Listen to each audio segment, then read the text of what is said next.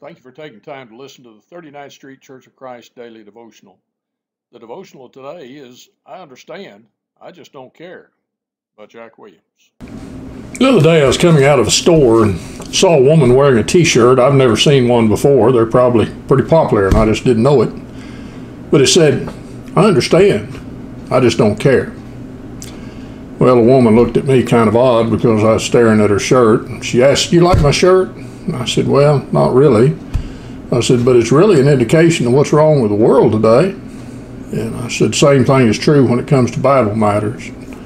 I invited her to church, but it was a friendly conversation.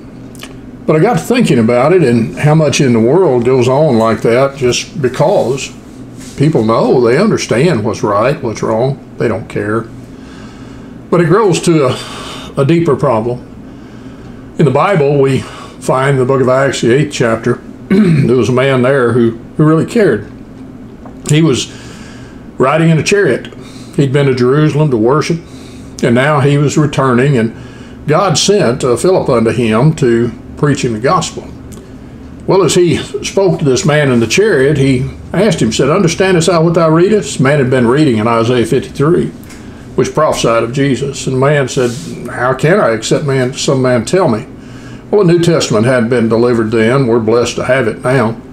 So Philip began at that scripture and preached unto him Jesus. Well, this man cared. You see, whenever he had Jesus preach to him, obviously that entails something about baptism. Because they came to a certain water and he said, See, here's water. What doth hinder me to be baptized?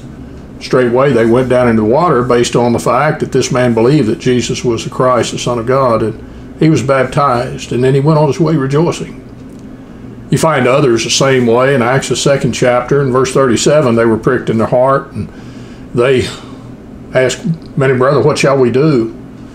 And they were told, Repent and be baptized in the name of Jesus Christ for the remission of sins, and ye shall receive the gift of the Holy Spirit. 3,000 people understood and cared. And they were baptized according to verse 41. And verse 47, God, having given forgiven their sins, added them to the church. Did you ever think about how many multiplied thousands there were at that time who understood but didn't care? You read about people like that too with Demas, 2 Timothy, the fourth chapter.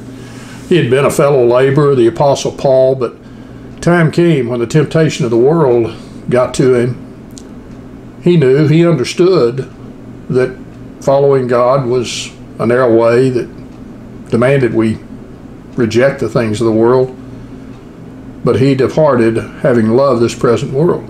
He understood, but he didn't care. Rich young ruler, the same way. Jesus told him, You sell what you have, give to the poor. Oh, he understood Jesus. He just didn't care.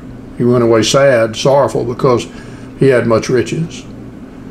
You know, today we, every one of us, fall into two categories with God's will.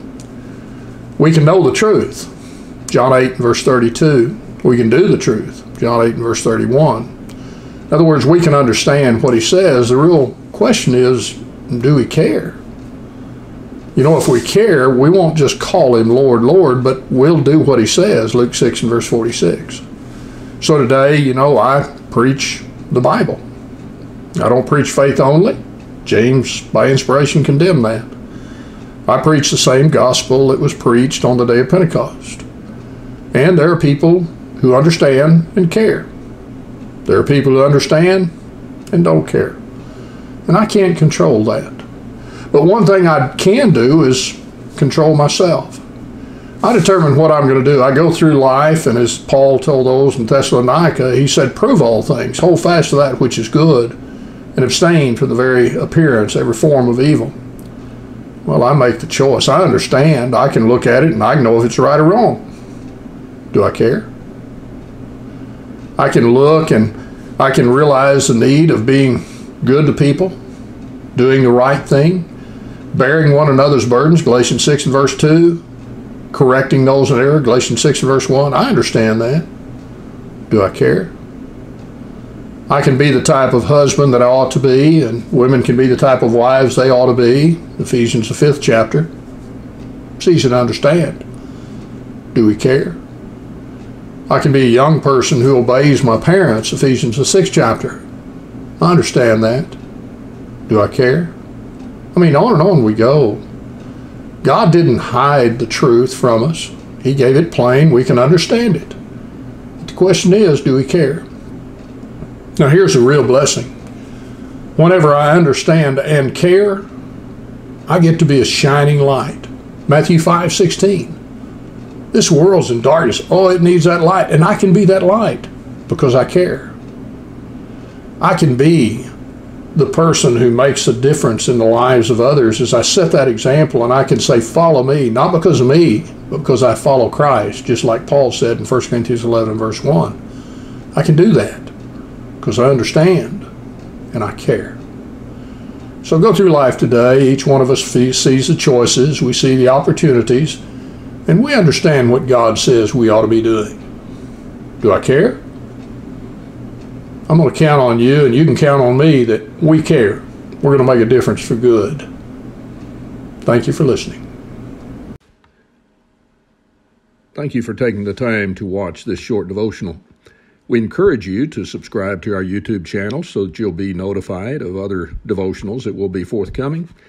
Also, we encourage you to join us online live as we stream our services at each service time. More information can be found on our website at the link below. Thank you.